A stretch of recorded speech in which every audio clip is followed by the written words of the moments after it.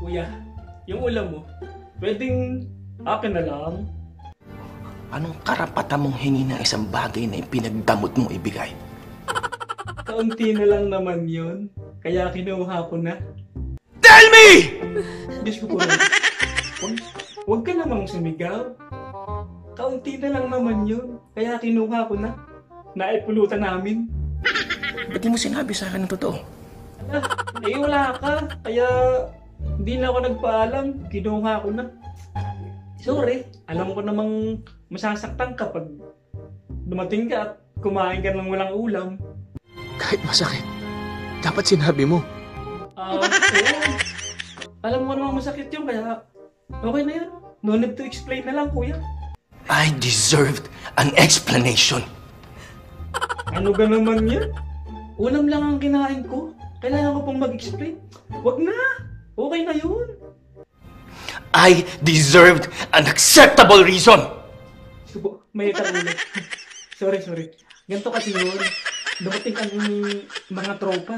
Eh, may dalang inumin. Eh, ako, kailangan ko magambag. Eh, wala akong may ambag, wala akong pera. Eh, nakita ko yung ulam mo. Kaya yun, yun na lang ang pinangambag ko, pang pulutan. Saka, ilang araw pag akong mag explain sa iyo, kuya. Every day. Grabe naman. Ulam lang yung kinain ko, tapos everyday na ako mag explain sa'yo. Eh, ikaw ga, pag nag-inom ka ga, ano ga ang feeling ng walang pulutan? I almost died. Oh, di ga? Alam mo naman ang feeling ng mag-inom ng walang pulutan eh. Tsaka, ano gang palagay mo sa pagbumukha ko? Matakaw sa pulutan? Namumukha kang tae sa paningin ng tao.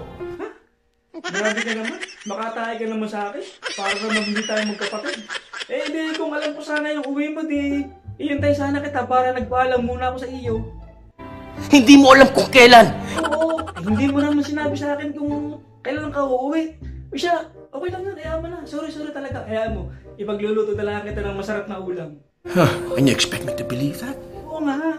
Promise, promise. Liga, paborito mo yung maanghang. Ay nako, sige, ipagluluto kita nun. Dadamihan ko ng sili. Nako, pagkakasarap noon. Hindi ko na kaya magtiwala sa iyo. Grabe ka naman, kuya. Ulam lang naman ang kinuha ko. Hindi mo ako mapatawad. Nawala na yung tiwala mo sa akin. Para ulam lang. Para tayong hindi magkapatid dyan.